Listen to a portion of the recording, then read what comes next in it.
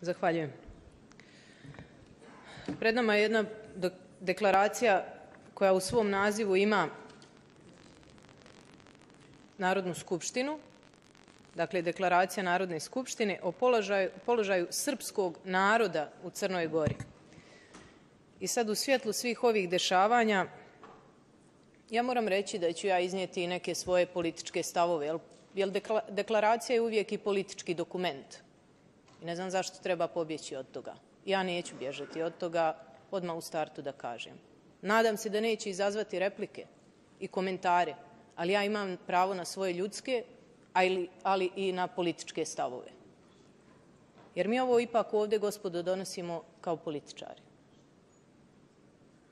I treba da, da o, na ovoj tački imamo saglasnost. I ja cijenim ovo što je gospodin Vukanović predložio, ja bih ovo još, evo, ako mogu ja, Vukanu nije tu, ali e, možda još malo rigidnije zaključke u ovu, na, u ovu deklaraciju stavila, ali on je pre, predložio ovako. Rigidnije, u smislu toga da mi treba da vidimo ko je to glasao za zakon o slobodi vjero, vjeroispovijesti u Crnoj Gori. Svi oni koji su glasali za tako sraman zakon, Republika Srpska treba da pokaže prema njima ono što su oni pokazali prema Srbima u Crnoj Gori, odnosno svim onim koji se smatraju pravoslavnim Srbima i dijelom Srpske, odnosno Srpske pravoslavne crkve. Imajući u vidu ono što se dešava Srbima na Kosovu i Metohiji i sada Srbima u Crnoj Gori, kažem da mi treba da ljubimo svaku stopu Republike Srpske i da volimo svaki dan i svaki sat proveden u ovakvoj Republici Srpskoj. A ne da se kockamo sa Republikom Srpskom. I ne da se kockamo sa teškim riječima. Ja ću sada reći o svom gradu, Banja Luci, u kojoj ja živim, da je po mom mišljenju na ovu temu Banja Luka ostala nijema. To je moje mišljenje, to je moj stav. Može se nekom sviđati ili ne sviđati, ali činjenica da su jedini podršku Srbima u Crnoj Gori iskazali Udruženje građana Petrićevac 29.12. ispred hrama Hrista Spasitelja i studenti Fakulteta političkih nauka, odnosno oni su organizatori, i nekolicina ljudi koja je tu došla, za mene je čutanje. Svaka čast ovim dvijema organizacijama. Ali zar nije poražavajuće da su dva udruženja građana, jedno udruženje građana, a drugo Savez studenta, organizatori podrške Srbima u Crnoj Gori. Za mene je Banja Luka na tom ispitu pala. To je moj stav. Litija, imam pravo i to da komentarišem, kao dio Srpske pravoslavne crkve, kao dio tog stada. Litija je bila u sklopu Bogojavljenske litije koja bude svake godine, tradicionalna litija. Ja sam bila u litiji, gospodine Mazelce, evo, ako hoćete i to da znate.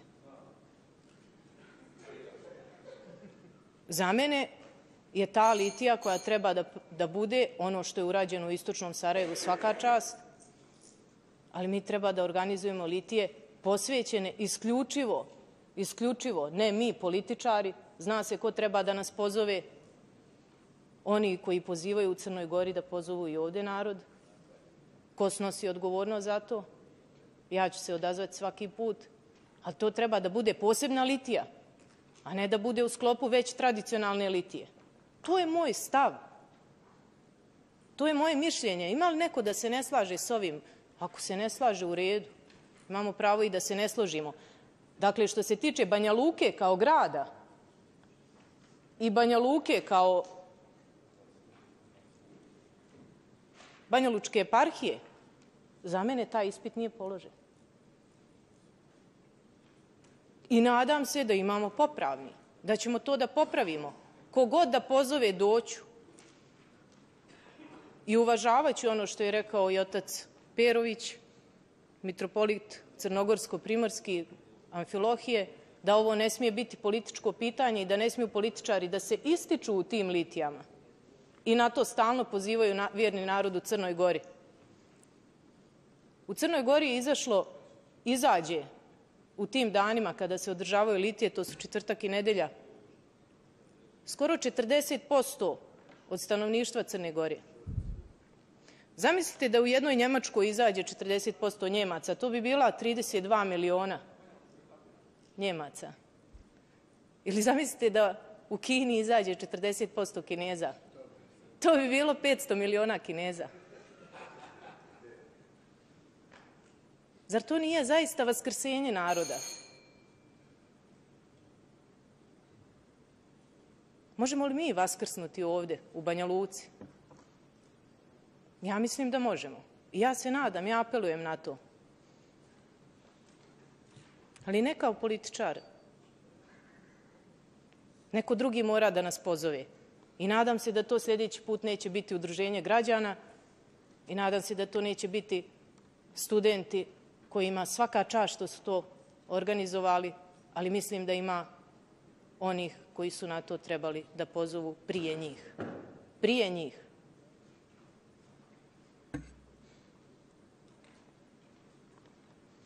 Ja ću ovdje posjetiti i na činjenicu da se mi prema deklaracijama odnosimo neodgovorno.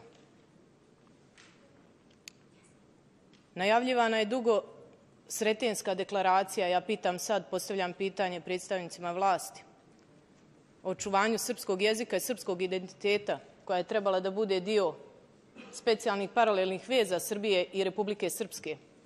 Zašto to govorim? Zato što i ovu deklaraciju, kada je usvojimo, pitanje šta će s njom biti. A postoje deklaracije kao što je ova koja je najavljivana za sretenje 2018. godine i još nije predložena. Nemamo tekst. Šta je s njom? Evo, postavljam pitanje. Možda neko iz vlade i struktura vlasti može da mi odgovori na ovo pitanje.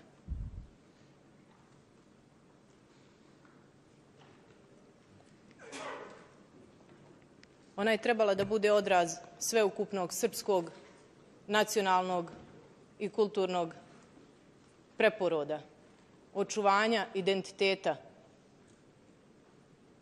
A i sa tim stvarima, tako ih pompezno najaviti, pa nikad o njima ne reći zašto nisu donesene, zašto nisu ugledale svjetlo dana, vjerovatno po, po istom principu po kojem 43 puta najavljeni referendum neće ugledati svjetlo dana. Po istom tom principu. I evo da se vratim još jednom na Banja Luku. Pali smo mi i onda na onom ispitu kada je trebalo pružiti podršku Srbima na, na Kosovo i Metohiji, kada su bile, po mom mišljenju, skromne šetnje, demonstracije, kako god hoćete da nazovete, kada je zvanična Banja Luka čutala na to 1999. godine i skoro pa branila Srbima da pruže podršku Srbima na Kosovo i Metohiji. Ja to moram reći. Ja sam tada išla u srednju školu, učestvovala u tim šetnjama. Drago mi je, gospodine Mazalce, branite, vi ne neodbranjivo, ne evo da vam dam šlagvort. To je bilo tako, gospodine Mazalca. Možete vi da branite kako hoćete ali tad nismo pružili podršku Srbima na Kosovo i Metohiji, ne pružamo je dovoljno ni danas, a još uvijek nije Banja Luka pružila podršku Srbima u Crnoj Gori, a ima, ima prostora da se to popravi. I moram reći također, s obzirom da, da razgovaramo o političkom dokumentu, da politički lideri, zakon o slobodi vjeroispovijesti je najavljivan dugo vremena, I tek kad je doneseno da se nešto stiljivo reklo protiv tog zakona od strane političkih lidera u Srbiji i Republici Srpskoj, ja to otvoreno kažem, to je za mene stiljivo. To za mene uopšte nije osuda.